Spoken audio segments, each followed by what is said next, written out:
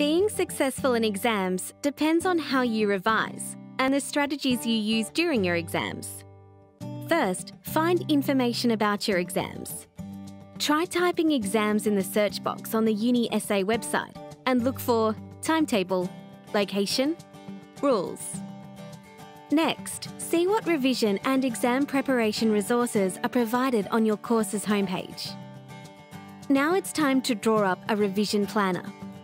Make sure you allocate enough time to cover the content of every course. Use a different colour for each course and write down what lecture topic you plan to revise. Your big picture planner will help you plan for each day.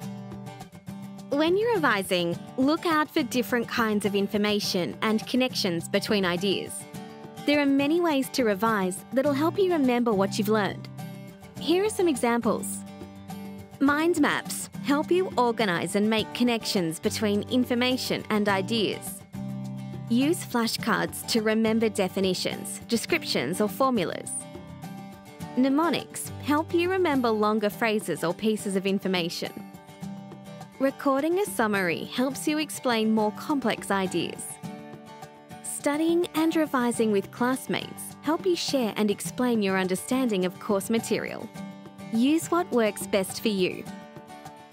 It's also important to know what type of exam you'll be sitting. The two most common exams are closed book and the open book. In a closed book exam, you can't take any notes with you into the exam hall. In an open book exam, you can take some materials with you. If you take in a textbook, use tabs and sticky notes to help you find information more quickly.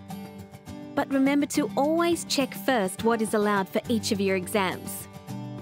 You may need to answer a range of different types of questions, such as multiple choice, short answer, essay, calculations. For multiple choice questions, try predicting the answer before you read the choices. For short answer and essay, it's always good to quickly plan what you're going to write. If the exam is nearly over, write some bullet points if there is no time to write full sentences.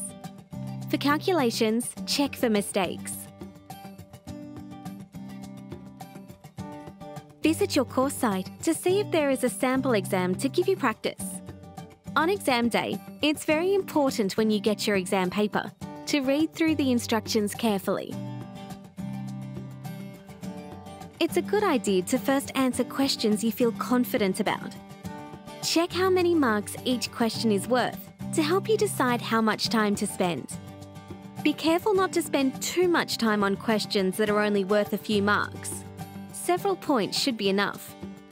A good tip is to spend more time on questions with higher marks.